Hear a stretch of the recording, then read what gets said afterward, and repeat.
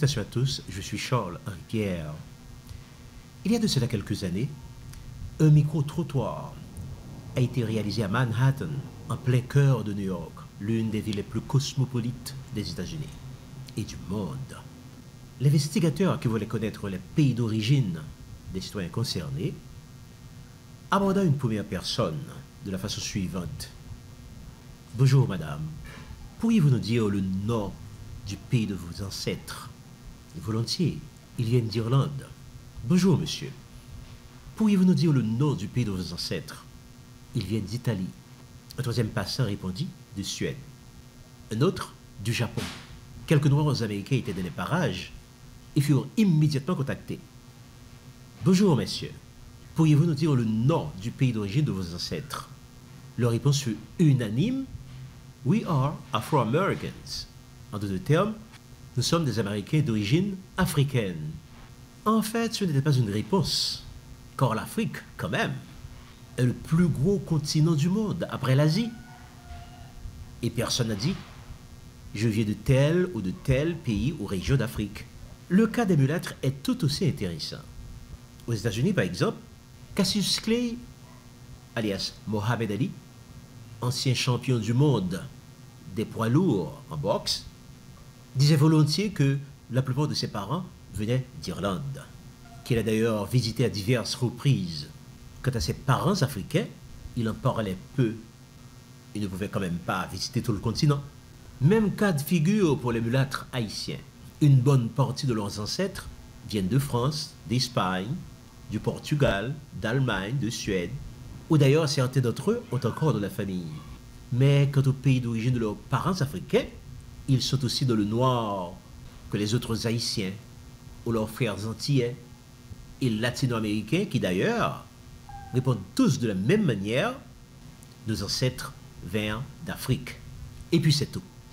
Nous voici donc en présence de ce qu'on a convenu d'appeler une perte collective de la mémoire des origines. Certains utilisent le terme technique d'épistémicide de même que l'homicide est la destruction d'un individu, que l'ethnocide est la destruction de l'identité culturelle d'un groupe ethnique, sans nécessairement détruire physiquement ce groupe, l'épistémicide, maintenant, est la destruction de la connaissance, de savoir préexistant. Comment expliquer ce phénomène? Comment comprendre en effet que pratiquement l'ensemble des Noirs américains l'ensemble des Haïtiens, l'ensemble des Antillais et des Latino-Américains noirs ignorent totalement les pays d'origine de leurs ancêtres. Eh bien, cela a directement rapport, pour faire simple, avec deux phénomènes distincts.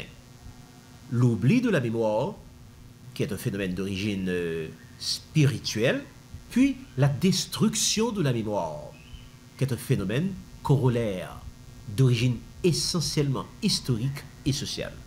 Regardons ensemble. Tout d'abord de la Bible. Dans la Bible, l'oubli de la mémoire constitue l'une des nombreuses malédictions que l'Éternel avait réservées aux enfants rebelles d'Israël, qui avaient sombré de l'apostasie, de l'idolâtrie, bref, de l'abandon de Dieu de leur Père. Déjà dans Deutéronome 9, après 40 jours et 40 nuits passées dans la présence de Dieu sur le mont Sinaï, Moïse s'était fait interpeller ainsi. Je vois que ce peuple est un peuple au cou raide. Laisse-moi les détruire, effacer leur nom de dessous les cieux. Deutéronome 9, 13, 14. Cela nous permet de comprendre que lorsque l'Éternel désapprouve les voies d'un homme, celui-ci finit par subir un véritable assassinat physique, économique, social, culturel, qui peut aller jusqu'à l'effacement du souvenir ou de la mémoire de son existence, de son existence sur la terre. C'est dans ce sens que, dans Deutéronome 32, 26, l'Éternel avait formellement déclaré Je ferai disparaître leur mémoire d'entre les hommes. Ce qui veut dire que l'oubli de la mémoire de ses origines, pour un Haïtien, un Afro-Américain, un entier de couleur, un Latino-Américain de couleur, constitue non pas un événement anodin, mais un phénomène spécifique à ces groupes ethniques. une véritable sanction de l'Éternel des armées contre un peuple qui s'appelle de son nom et qui a sombré par la suite dans l'idolâtrie et l'apostasie. Dans Lamentation 2.6, nous trouvons une déclaration parallèle qui dit ceci. Le Seigneur, en signe de sa colère, a fait oublier en Sion les fêtes et les sabbats. Ce qui veut dire que dans les temps modernes, ceux-là même qui viennent directement du judaïsme ont perdu non seulement leur identité de peuple, mais encore toute connexion culturelle avec leur ancienne existence. Par voie de conséquence, puisqu'ils ont perdu le souvenir des fêtes et des sabbats, qui constituent l'essence même de la culture juive, ces anciens juifs refusent énergiquement aujourd'hui de reconnaître leur ascendance juive. Pour terminer cette petite série, considérons Osée de 13, où le prophète Osée reprend et confirme les avertissements de Jérémie en ces termes. Je ferai cesser toute sa joie, ses fêtes, ses nouvelles lunes, ses sabbats et ses solennités. Ce qui confirme une fois encore que l'Éternel rejette les voix des rebelles. Il leur fait perdre jusqu'au souvenir de leur existence passée. Précisons maintenant que tous ces avertissements proférés par Moïse, par Jérémie et par Osée concernent essentiellement Judas. Ils n'ont aucun rapport avec le royaume du Nord, ci-devant royaume d'Israël, qui avait auparavant été déporté en Assyrie en 721 avant Jésus-Christ. De là, ces Israélites du royaume du Nord avaient migré vers l'ouest, c'est-à-dire vers l'Asie, vers les pays du Nord, notamment la Russie, et vers l'ouest, c'est-à-dire vers l'Europe occidentale. Déjà, la première épître de Pierre s'adressait à ceux qui sont étrangers et dispersés dans le pont, la Galatie, Cappadoce, la Bithynie, l'Asie.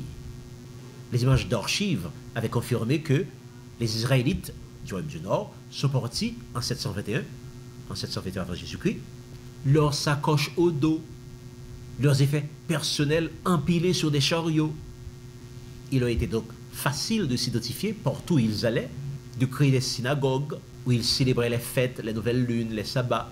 Ils avaient donc pignon sur rue et ne sont pas concernés par les prophéties de Moïse, de Jérémie, de Osée sur l'oubli de la mémoire.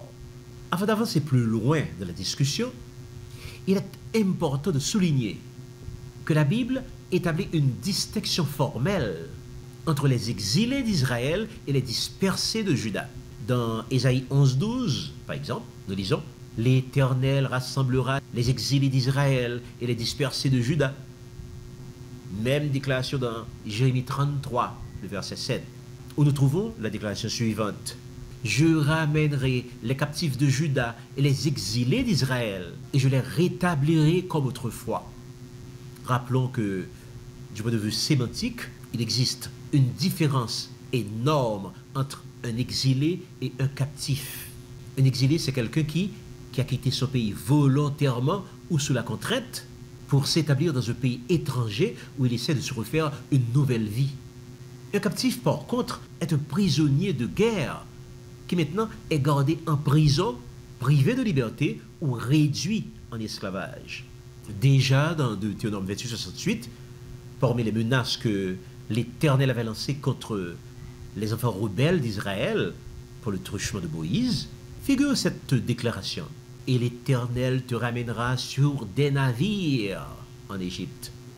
Et tu feras ce chemin dont je t'avais dit, tu ne le reverras plus. Là, vous vous offriez en vente à vos ennemis comme esclaves, et il n'y aura personne pour vous racheter. À travers l'histoire, le peuple d'Israël a-t-il jamais été réduit en esclavage en Égypte une deuxième fois? Définitivement, non. C'est donc une allusion claire à la traite négrière qui sera son lot et son portage à la fin des temps. Il convient de noter aussi qu'à l'occasion de la dédicace du premier temple, le roi Salomon avait élevé vers Dieu cette prière prophétique. Quand ils pêcheront contre toi, quand il n'y a point d'homme qui ne pêche, que tu seras irrité contre eux et que tu les livreras à l'ennemi, que les emmèneras captifs, c'est-à-dire esclaves, dans un pays lointain ou rapproché, s'ils rentrent en eux-mêmes et se repentent et exaucent les des cieux, de Connexis 35-39. Le prophète Joël est encore plus précis. Il lança contre les nations étrangères les avertissements suivants.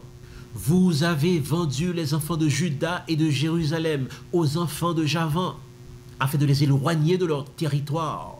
Voici, je les ferai revenir du lieu où vous les avez vendus, et je ferai retomber votre vengeance sur vos têtes. Rappelons que Javan, c'est le nom biblique de l'Empire grec, qui lui-même est la tête de la civilisation occidentale, dont se réclament aujourd'hui les grandes nations d'Europe et d'Amérique. Dans la même veine, le prophète euh, Jérémie ajouta Judas est en exil, victime de l'oppression et d'une grande servitude. Il habite au milieu des nations et il n'y trouve point de repos. Tous ses persécuteurs le surpris dans l'angoisse. Lamentation 1.3. Il convient de ne pas oublier aussi le psalmiste Azaph qui se lamenta ainsi sur la destruction de la mémoire de Judas. Car voici, écrit-il, tes ennemis s'agitent, ceux qui te haïssent lèvent la tête. Ils forment contre ton peuple des projets pleins de ruses, et ils délibèrent contre ceux que tu protèges. Venez, disent-ils, exterminons-les du milieu des nations, et qu'on ne se souvienne plus du nom d'Israël.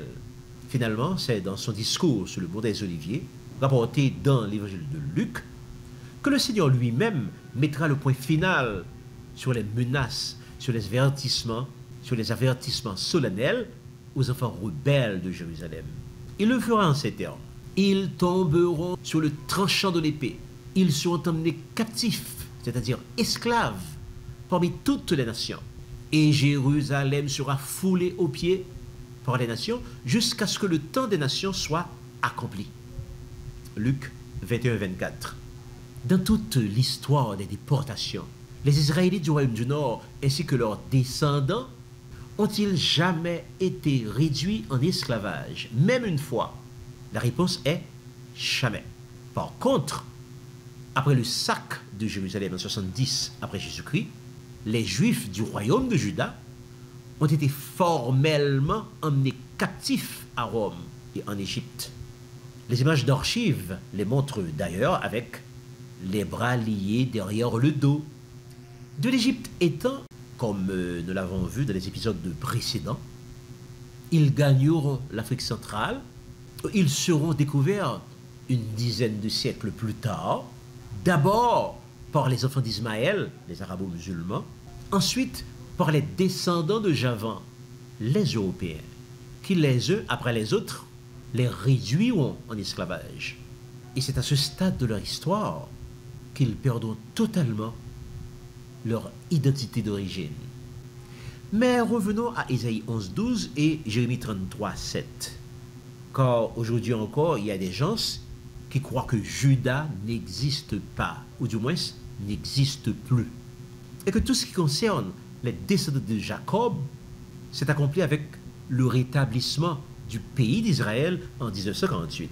Ces deux portions nous ont permis de comprendre que l'Éternel établit de façon nette et claire une distinction entre Israël et Juda, entre la postérité d'Israël et la postérité de Juda, entre les exilés d'Israël et les dispersés de Juda.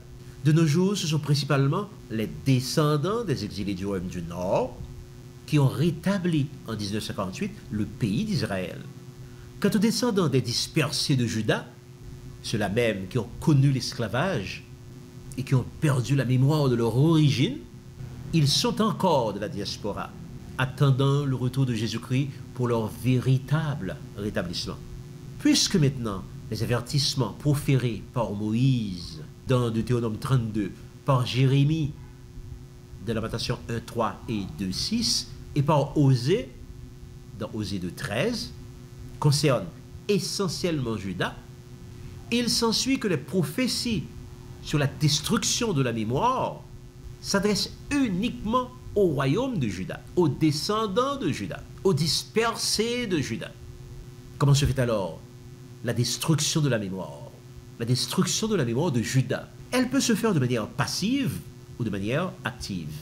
Dans la vie de tous les jours, la destruction passive de la mémoire est le fait d'un individu qui pour toutes sortes de raisons est coupé de ses origines.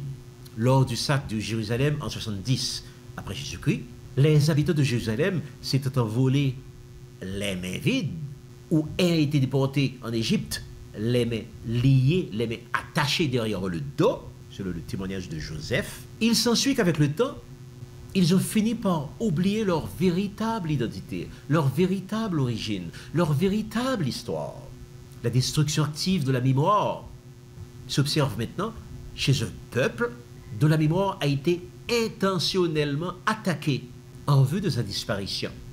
Pour Judas, après les avertissements, menaces et prophéties de Moïse, de Jérémie, de Osée, les menaces de destruction active de la mémoire se précisèrent notamment dans le psaume 83, où Asaph se lamenta, se lamenta ainsi devant Dieu. Car voici, tes ennemis s'agitent, ceux qui te haïssent lèvent la tête. Ils forment contre ton peuple des projets pleins de ruses, et ils délibèrent contre ceux que tu protèges.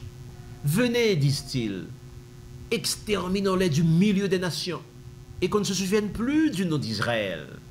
Psaume 83, 3, 5. Comment se fera alors, du point de vue pratique, la destruction active de la mémoire? Samilon Hubbard, qui répond le mieux à cette brûlante question. Il écrit ceci. Pour liquider les peuples, on commence par leur enlever la mémoire. On détruit leurs livres, leur culture, leur histoire. Puis quelqu'un d'autre leur écrit d'autres livres, leur donne une autre culture, leur invente une autre histoire. Ensuite, le peuple commence lentement à oublier ce qui, ce qu'il est, ce qu'il était. Le peuple commence lentement à oublier ce qu'il est, ce qu'il était. Milan Hubble, écrivain et historien tchèque, 1927-1989, extrait du livre Du rire et de l'oubli de Milan Kundera. De nombreux cas de figure pourraient être envisagés pour illustrer immédiatement la destruction de la mémoire. Mais pour bien l'aborder, il convient de commencer par un état des lieux, pour pouvoir mieux appréhender les changements survenus au niveau de la mémoire de Judas du 10e au 18e siècle après Jésus-Christ. Le 23 décembre 1901, le New York Times publia un article qui attira l'attention du monde de l'époque. Il s'agissait de la découverte au Caire, le 8 décembre de la même année, de l'ascendance égyptienne des races de l'Afrique de l'Ouest. Mais peut-on vraiment parler d'ascendance égyptienne pour les races rencontrées en Afrique de l'Ouest?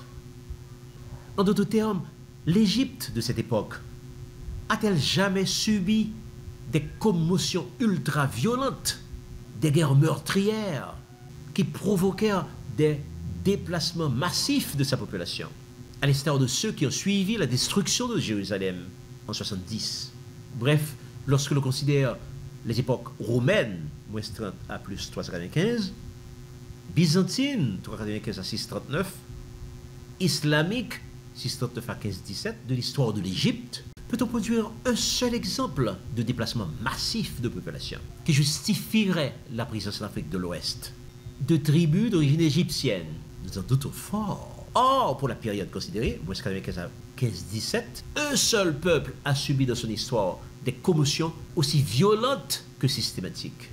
Il s'agit du peuple hébreu. Or, comme nous l'avons déjà vu, les Juifs partagent le même phénotype, c'est-à-dire le même aspect physique que les Égyptiens. Il se suit donc que cet article du New York Times, en fait, ne parlait ni plus ni moins que des Juifs. Léo l'Africain, qui fut un explorateur et diplomate musulman du XVe siècle, avait mis en évidence les rapports étroits qui existaient entre le Négroland, le sud-occidental, et l'Égypte à partir de l'an 990 de l'ère chrétienne. Cependant, pour l'historien Ibn Abizar, les Soudanais étaient des Noirs judaïsés, tandis que les populations rencontrées à Limi par Ibn Saïd sont carrément juives. Ces rapports tiennent compte du fait que la partie occidentale de l'Afrique représentait à cette époque la partie la plus sûre du monde connu. Cette zone n'avait en effet connu aucune des grandes invasions, les invasions antérieures de l'époque, assyrienne, médo-perse, grecque et surtout roumaine. On peut comprendre alors pourquoi dans la Bible, à chaque fois qu'Israël subissait des évasions, elle se réfugiait en Égypte et en Afrique du Nord dans un premier temps et en Afrique de l'Ouest par la suite, si le problème persistait ou s'aggravait, car Rome n'avait pas de juridiction dans les régions situées au-delà de l'Afrique du Nord. D'autre part, Rudolf Windsor, From Babylon to Timbuktu, rapporte que les marchés d'esclaves débordaient d'esclaves juifs noirs. Le philosophe juif Philon d'Alexandrie, 25 avant Jésus-Christ à 50 après Jésus-Christ, écrivit que millions de juifs résidèrent en Libye et en Égypte depuis Katapatmos en Libye jusqu'aux frontières de l'Éthiopie, telles qu'elles étaient définies à l'époque. Jérôme, l'un des pères de l'Église, ajoute que les Juifs étaient éparpillés depuis l'extrémité occidentale de la Mauritanie jusqu'aux Indes. Ces quelques exemples, parmi de nombreux autres, montrent à quel point les Juifs noirs étaient présents et éparpillés non seulement en Afrique du Nord, mais encore en Afrique centrale et en Afrique de l'Ouest. Les écrivains européens de l'époque furent aussi témoins de la présence de la culture juive de ces régions d'Afrique. Nous voulons tout d'abord citer le père Labat, le père Jean-Baptiste Labat, 1663 à 1738, qui publia en 1725 le voyage du chevalier des Morchets en Guinée et les îles voisines. Il y raconte comment les Juifs, en arrivant en Afrique, en Afrique occidentale, s'établirent entre autres dans la région de Guinée. Ils changèrent le nom du fleuve le plus important de la région, en l'appelant désormais Euphrate. Ils établirent aussi le royaume de Juda de Guinée. Alfred Métro, dans le Vaudou haïtien, 1968, Gallimard, racontera comment les négriers français casseront ce petit royaume de Juda pour peupler ces domaines. D'autre part, comme euh, autre écrivain européen de l'époque, nous aimerions citer aussi l'abbé Brouillard, 1743-1808, qui vécut quelque temps en Afrique centrale et publié en 1776 l'histoire de Loango, Kakango et autres royaumes d'Afrique. Il raconta notamment que la langue des autochtones est un mélange de dialecte local, de grec et d'hébreu. Tout ceci, c'est pour confirmer que les populations africaines qui ont été réduites en esclavage dans les Amériques et ailleurs étaient d'origine juive. Comment maintenant ces souvenirs se sont-ils volatilisés avec le temps? Comment s'est opérée finalement la destruction de la mémoire de Judas? C'est le Code noir de 1685 qui a lancé la première salve. Le Code noir, c'est un recueil de lois qui régissent la nouvelle vie des esclaves de les colonies. Voici quelques articles parmi les plus significatifs. Accrochez-vous. 1. Les esclaves reçoivent un nom nouveau, le plus souvent un nom de saint, un nom biblique. 2. Ils sont dépouillés de leur ancienne religion, quelle qu'elle fût. 3.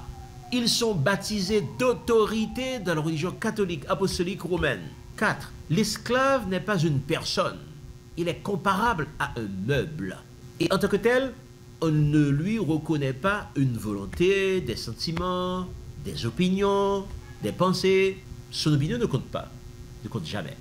Il ne peut attaquer personne en justice. L'inverse est certainement vrai. Il ne peut hériter de personne, mais on peut le vendre à quiconque. Tout ce qu'il a appartient à son maître, y compris ses enfants. Le mariage lui est interdit, sauf avec l'assentiment du maître. Les enfants nés du mariage appartiennent automatiquement au maître. Le Code noir contient en tout une bonne euh, cinquantaine d'articles du même genre. Il existe euh, d'autres versions du Code noir dans des pays comme euh, l'Espagne, aux États-Unis, en dépit de tous les efforts fournis pour extirper le passé esclavagiste. Il existe encore des séquelles tenaces, comme le racisme systémique, le suprémacisme de le système judiciaire américain, le noir, jusqu'à présent, n'est toujours pas considéré comme une personne à part entière. Plus précisément, il est considéré comme trois cinquièmes de personnes. C'est ce que dit la Constitution. Il est considéré comme trois cinquièmes de personnes. 60% de la population carcérale est noire. En dépit du fait que les noirs représentent à peine 13% de la population, de la population générale. Essayez de deviner, après quelques 300 ans d'esclavage formel, ce qui reste à l'esclave, à l'ancien esclave, à sa descendance, à sa postérité, comme personnalité, comme opinion de lui-même, de son maître, du blanc en général, des autres, des autres esclaves. Oui, après 300 ans de destruction complète de la mémoire, essayez de lui parler de ses véritables origines juives. Il vous demandera si vous êtes fou. Alors qu'en réalité, c'est lui qui est devenu fou. Un autre exemple majeur de destruction volontaire de la mémoire est le discours prononcé par Léopold II, roi des Belges, en 1883, devant les missionnaires se rendant en Afrique. La tâche qui vous est confiée est très délicate à remplir et demande du tact. Prêtre, vous allez certes pour l'évangélisation, mais cette évangélisation doit s'inspirer avant tout des intérêts de la Belgique. Le but principal de votre mission au Congo n'est donc point d'apprendre aux nègres à connaître Dieu, car ils le connaissent déjà. Ils parlent et se soumettent à un mondi, à un mongo, un diacomba et que sais-je encore. Ils savent que tuer, voler, coucher avec la femme de truie, calomnier et jurier est mauvais et ont donc le courage de l'avouer. Vous n'allez donc pas leur apprendre ce qu'ils savent déjà. Votre rôle essentiel est de faciliter leurs tâches aux administratifs et aux industriels. C'est-à-dire donc que vous prêterer l'évangile d'une façon qui serve à mieux protéger nos intérêts de cette partie du monde. Pour ce faire, vous veillerez, entre autres, à désintéresser nos sauvages des richesses de regorge leur sol et sous-sol, pour éviter qu'ils s'y intéressent, qu'ils ne nous fassent pas une concurrence déloyale, une, une concurrence meurtrière. Ils rêvent un jour de nous déloger. Il est intéressant de noter ici que le roi Léopold II savait pertinemment à qui il avait affaire. Il était en effet conscient du fait que les Congolais connaissaient déjà Dieu, ainsi que les dix commandements le dernier exemple de destruction de la mémoire, de la mémoire des origines que nous voulons considérer, est l'histoire des 2000 enfants juifs de Sao Tomé. Mais pour bien comprendre cette tranche d'histoire, un petit rappel historique est nécessaire. De la péninsule ibérique du XIVe et du XVe siècle, les périodes de paix alternaient avec les périodes de persécution contre les juifs. Le philosophe juif Spinoza notait par exemple le fait suivant. Quand un roi d'Espagne contraignit les Juifs à embrasser la religion de l'État ou à s'exiler, un très grand nombre devint catholiques romains et ayant part dès lors à tous les privilèges des Espagnols de race, jugés dignes des mêmes honneurs, ils se fondirent si bien avec les Espagnols que peu de temps après, rien d'eux ne subsistait, non pas même le souvenir. Un autre exemple intéressant est celui des Portugais, qui justement au XVe siècle expulsèrent la communauté juive du Portugal, dont un certain nombre fut emmené de force à Sao Tomé. Il s'agit ici d'un des rares cas de métissage racial documenté de l'histoire. Pierrette et Georges Chalendar rapportent ainsi que le roi Jean II du Portugal ordonna en 1492 la déportation des Juifs en Afrique équatoriale. Valentin Fernandez, description de la côte occidentale d'Afrique, 1851, page 119, rapporta que plus de 600 familles juives furent embarquées de force sur les navires en portance pour Sao Tomé, pour l'île de Sao Tomé au large de l'Afrique de l'Ouest. Elles accompagnaient 2000 enfants juifs qui furent arrachés de force à leurs parents. L'écrivain Mario Claudio qui cite les chroniques de Garcia de Rezende et de Huy de Pino, ajoute qu'à leur arrivée à Sao Tomé, les déportés furent jetés à terre et abandonnés sans pitié. La majorité d'entre eux furent dévorés par les crocodiles. Et la plupart de ceux qui échappèrent à ces reptiles moururent de faim et d'abandon. Le reste, au nombre de 600 hommes et femmes, fut miraculeusement épargné de ce sort abominable. Le gouverneur de l'île Alvao de Camina, les Moria. Selon Valentine Fernandez, il y avait beaucoup plus de fécondité entre les femmes blanches et les noirs, et entre les hommes blancs et les femmes noires. Vivant maintenant parmi les autochtones noirs, les juifs blancs portugais ont adopté sans trop de problèmes la langue et la morale collective des natifs. Les jésuites qui relatent leur séjour en ces lieux ont noté que les Portugais installés parmi les Noirs ont adopté leur manière d'être. Ils vont nus, ils se mordent le corps avec un fer, ils se font beaucoup de tatouages. Bref, un mode de vie qui choquait les Occidentaux. Et en 1620, c'est-à-dire 128 ans après après leur arrivée sur l'île, un navigateur anglais maintenant, Richard Jobson, débarqua sur l'île. Il écrivit Quelques-uns ressemblent encore aux Portugais, d'autres sont mulâtres entre le blanc et le noir. Mais la majorité sont aussi noirs. Ce qui veut dire que 128 ans plus tard, quel sera le nouvel aspect de cette déportée? Un siècle plus tard, cinq siècles plus tard, un millénaire plus tard. Il y a donc lieu de mettre en relief, d'établir les différents éléments qui rentrent en ligne de compte de la destruction de la mémoire passive, en général, des facteurs bibliques, historiques et culturels qui interviennent de la destruction active de la mémoire de Judas en particulier. C'est le chemin idéal pour guérir de cet oubli infernal, ainsi que du traumatisme psychologique majeur qui l'accompagne, à la lumière du passé. Ces anciens juifs pourront mieux appréhender le présent afin de mieux se préparer pour l'avenir.